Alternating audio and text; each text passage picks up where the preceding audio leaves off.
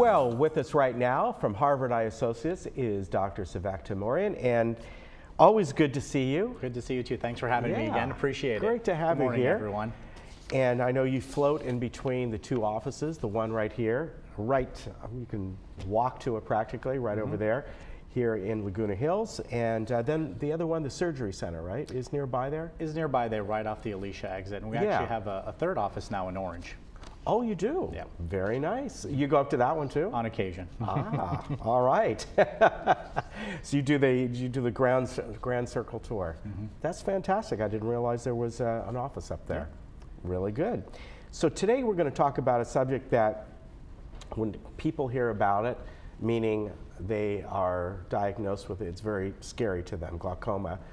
Uh, years and years ago, if you had that, it would, uh, I- you know, going back 20, 30 years ago, people were really, am I going to totally lose my eyesight? No. So there's better treatments now, better detection as well, right? Yeah, so when we're thinking about glaucoma, what we're issued about is there's damage to the back part of the eye, that sensitive nerve, because the pressure of the eye is high. So we're always focused on trying to get the eye pressure down. The trouble we've run into with glaucoma in terms of diagnosing before is that all of the mechanisms that we've had to look at if someone has the glaucoma Right. has already occurred some glaucoma damage. So we've always had a ah, very reactive yes. approach to things. So we're always constantly asking ourselves, is there a better way of doing things? Can we be a little more proactive? Which is really what we're trying to do, come up with better diagnostic tools. So instead of actually having loss of tissue, that nerve in the back, can we sense when is the tissue under stress and then get the pressure down so there is no actual loss of tissue? Let me ask you something along those lines, and I know we've talked about this before the issue of uh, pressure. Are we talking about blood pressure? It's something that somebody uh, comes in and presents to you with high blood pressure. Maybe you ask their medical history. They say, Well, you know, I have high blood pressure on occasion.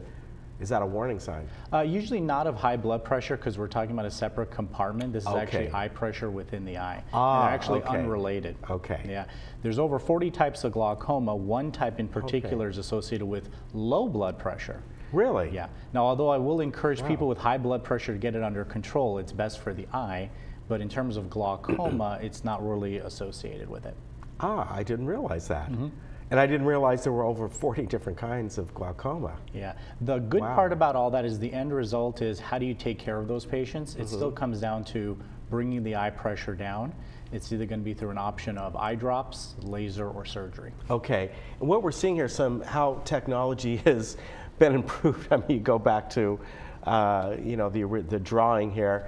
Uh, it's just it's remarkable what can be done, especially on this last photo here. Yeah, it, a lot of it has changed, and this goes right along with what we were talking about. Are there ways of diagnosing patients earlier before there's damage? And there really, in theory, was one. It's electrophysiology, or measuring the electrical current across a nerve. In this Okay. case, it would be the eye. We call that an ERG, or electroretinography. This technology occurred, but as you saw, their big instruments used to be at the university, would take patients over an hour with an electrode on their eye. It just wasn't a practical thing to do. Right. But technology is changing so quickly that now we can do this in the office.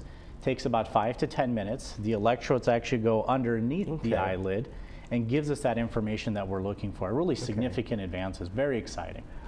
Let me ask you along those lines: Who would uh, benefit from this? And that someone comes in to see you.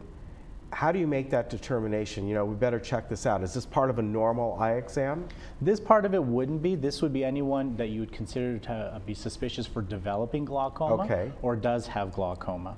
Okay. th- we still rely on some of the other parts of our examination to note for that. But the best part is even if it's somewhat questionable, this is something we can turn right around and do in the Mm-hmm. office. All right. And here we're looking at uh, earlier intervention to decrease the need for larger surgery. Yeah, this is again gives you a perfect example of how much technology has changed. This is actually the back part of the eye, the retina. So the film of the eye or the film of the camera in the eye. And what we're talking about is all the different layers, and there's about 11 different layers back Yeah, there. I see that. But this is on the level of microns.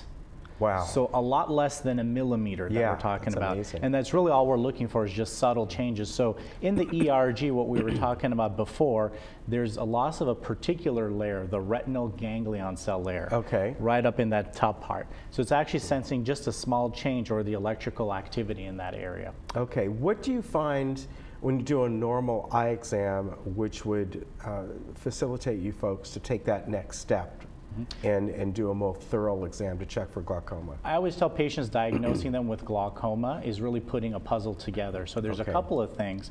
Any one of them would trigger extra testing. One of them would be a higher pressure if it was over 20. Okay. Another one would be if we're actually looking in the nerve in the back part of the eye. I always describe it as a donut with a donut hole. Right. If the donut hole is a little bigger than normal, that would also make it a little suspicious. So there's a couple of things that we're looking at. In, in also, family history would be another thing. Okay, now as far as detecting the pressure in the eye, how do you do that during a normal eye exam? Is that, I, I remember going in for the eye exam, is that the dye? Uh, yes. Okay. There's a couple different versions of it. The gold standard way still of doing it is putting a little bit of a dye. It almost has a yellowish Yeah, greenish hue yeah, to I it. remember. And then we shine a blue light that actually measures the pressure of the eye. Okay. There are other methods of doing it, but that's still considered the gold standard way of doing it. Okay, so let's say you get to that step, as you, you said, and uh, you detect it early. What would be the first level of treatment? Would it be eye drops? Uh, be eye drops, or there's actually uh, a laser that works really well for that Okay. too. I consider them the same risk. Uh, what we're trying to do is keep patients' eye pressure under control with either eye drops or laser procedures.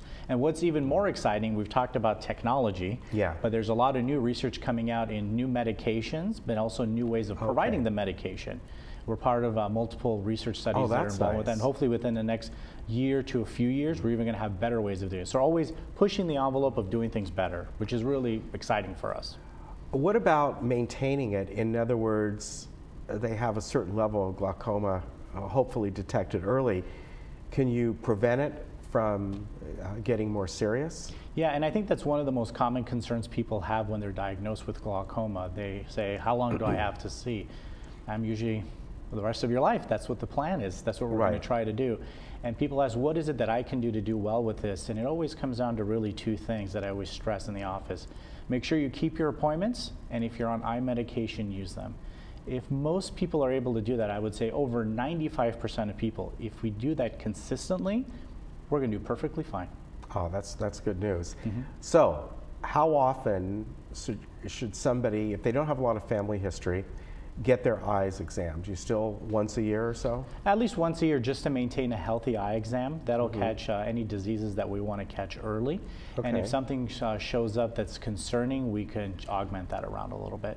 Okay, very good. So it doesn't have to be as scary as it used to be. I mean, people obviously are going to be, uh, you know, have some anxiety about it, which is totally normal.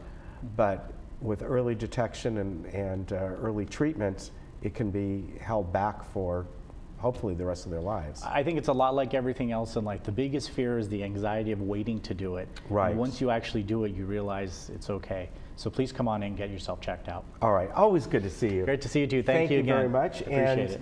Uh, maybe you'll catch Dr. T over here at Laguna Hills because you can see he's got to get on his uh, his bike or Uber all around to the different offices because he's a busy guy. But uh, either way, he's a great guy, as are all the doctors over there at uh, Harvard Eye. And uh, you know, get your eyes checked out. Uh, just uh, if you haven't done it in a while, that's the main thing to do. Just at that starting point, and uh, if something gets detected, you know, start that treatment. You know, good to see you. Thank you again. very Appreciate much. it. Say hi to everyone. I me. will. Have Thank a great you again. of July. Appreciate it. You too. All right, we'll be right back.